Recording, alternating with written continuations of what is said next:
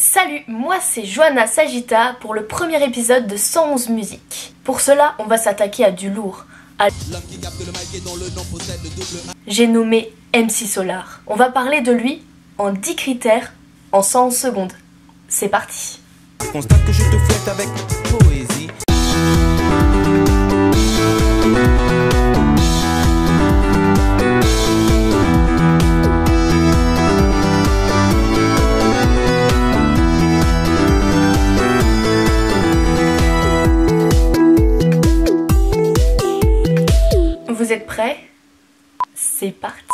C'est MC Solar ou Claude Honoré Mbarali est un rappeur français né à Dakar au Sénégal le 5 mars 1969. Il déménage pour la France alors qu'il n'a que 6 mois pour s'installer à Saint-Denis puis à Maison-Alfort, il teste ses premiers textes dans une émission sur Radio Nova alors qu'il suit des études de langue et de philosophie en rappant sur des sujets d'actualité qu'il lisait dans les journaux.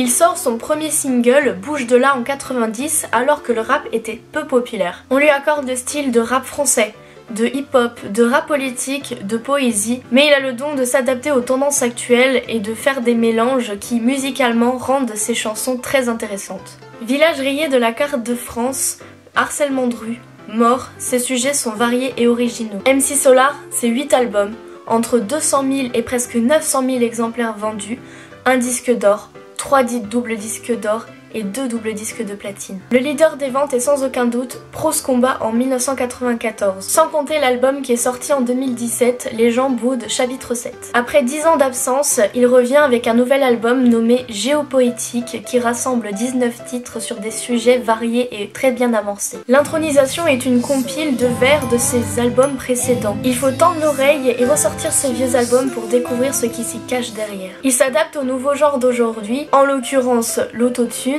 tout en gardant ses premiers amours, les cœurs de femme. J'aime la qualité du texte, le vocabulaire, la sonorité, la recherche musicale. C'est très agréable et c'est un pur plaisir à écouter. Dû à un vocabulaire non commun, il est très difficile d'intégrer voire de comprendre le texte sans l'avoir sous les yeux. Vu qu'il a sorti un nouvel album, en 2017, il entame une tournée en 2018 pour notre plus grand plaisir.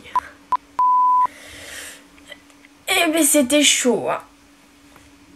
Si vous voulez votre CAP de rappeur, euh, je peux vous parler de Big Flo et Oli ou même de Orelsan si vous voulez. 111 Culture est une chaîne collaborative et la chaîne secondaire pour tous. Si vous avez envie de faire partie de l'aventure, n'hésitez pas à nous rejoindre et à venir sur notre Discord. Vous pouvez aussi me rejoindre sur ma chaîne YouTube Joanna Sagita où vous pouvez découvrir mes reprises, mes compositions ainsi que d'autres choses en rapport avec la musique. Sinon, je vous dis à un prochain 111 musique et n'oubliez pas... Je suis place de trêve qui pique ton.